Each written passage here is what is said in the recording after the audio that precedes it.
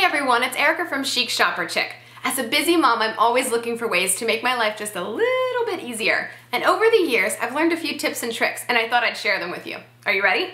Trick number one, lay out your clothes and your kids' clothes the night before. It makes the next morning much easier, trust me.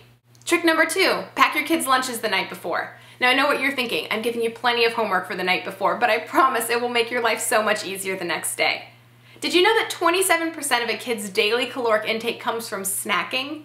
That's why for me, it is so important to pack healthy snacks that my kids will love, and their new favorite are the Treetop applesauce pouches. These come in four great flavors, apple, strawberry, cinnamon, and mango, and my kids love them. They're nutritious, it's whole fruit in here, no additives, completely natural. These are a home run. And finally, tip number three, expect the unexpected. With a six and seven year old at home, I am very used to expecting the unexpected. And that's why I keep what I affectionately call a meltdown kit in the back of my car. It's a little basket filled with bottles of water, our favorite applesauce pouches, and some other non-perishable snacks for those moments when they just can't take anymore and need a snack right then and there. Little snack on the go for mom too.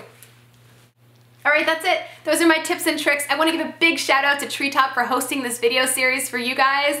Also, you'll wanna be sure and come back next week because on next Tuesday, I'm gonna host a giveaway for my favorite designer bag, a Longchamp bag, and it's gonna be filled with a few of my favorite things. Hmm, I wonder what that could be. Be sure to find Treetop online, treetop.com, and check out their Twitter and Instagram pages. They'd love to connect with you. See you guys next week.